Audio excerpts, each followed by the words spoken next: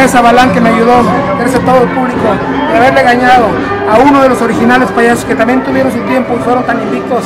Yo creo que hoy, hoy se demuestra la calidad de Halloween. Una lucha muy intensa, quizás más intensa que la del aniversario, con grandes rivales. Te puedo decir, todo el mundo tenía pique, todo el mundo se quería golpear, todo el mundo estuvo en contra de nosotros, pero gracias a Dios salí con el triunfo adelante, estamos aquí. Invitados último momento y se llevan la noche.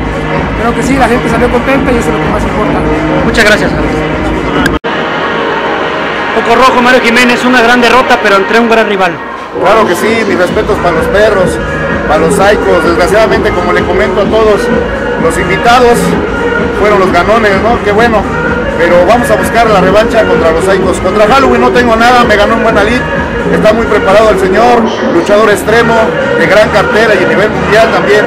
Perdimos ante un grande y ni modo, para seguir adelante. En lo personal, ¿cuál es tu sentimiento ante esta derrota?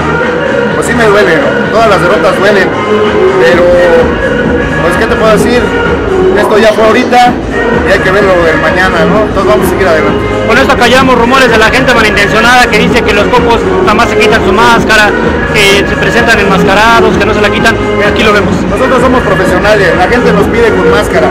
Yo por ejemplo terminando las luchas me la quito, yo llego a las arenas sin máscara, me presento como Mario Jiménez Rojo, ahorita ya vieron, subimos con un antifaz, me- me- se me cayó, no hay problema, yo venía apostando la cabellera y ahí está, estoy pagando lo que aposté y ni modo.